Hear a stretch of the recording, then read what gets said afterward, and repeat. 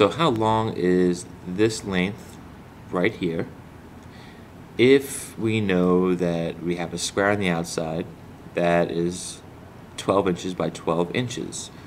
Here we're using the Pythagorean theorem. We have this right triangle in red right here. And we need to know how long this is, which is, that's the hypotenuse. And we could tell it's the hypotenuse because it is across from the right angle. And these are our two legs right here.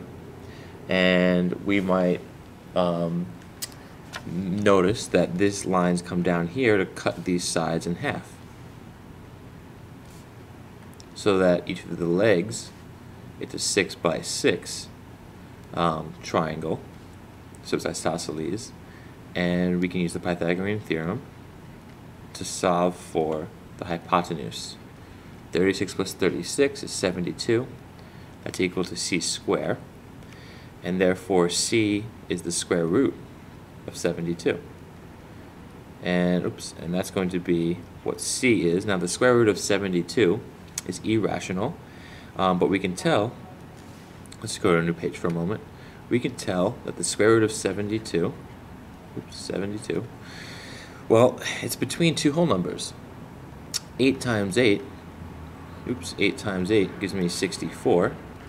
So the square root of 64 is below the square root of 62, and that's 8. We don't know what this is yet. 9 times 9 is 81, so the square root of 81 is above 72. So the square root of 72 is between 8 and 9, so it's 8 point something. And we could tell it's going to be um, a little bit closer to 8. So it's going to be less than 8.5 for sure, maybe about 8.4 or so. And we can tell that because 72 is 8 away from 64, but it is in fact 9 away from 81. And if we use a calculator to figure out the exact square root of 72, let's see how close my guess was um, comparing right here. The square root of 72 is in fact 8.4852, so it's a, it's a very, very close to 8.5. So in this problem right here, we can tell the hypotenuse right here is about 8.5 um, inches. Now, in this problem, they ask us to do a few things. They ask us to look at that side length right there, but they also want to know um, how big, so how, how big is the center diamond? Well, if each side of the center diamond is the square root of 72, and in the middle we have a diamond that's a square turned on its side, so that means the area is the square root of 72 times the square root of 72. So the area of this inner square is just going to be in fact 72.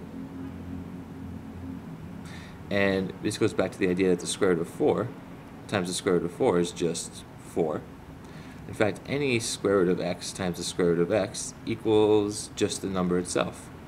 And that's because you're squaring a square root. And square roots, so you take a square root and you square it. Um, squaring and square roots are inverse operations, so they undo each other. And then we're just left with the number in the end.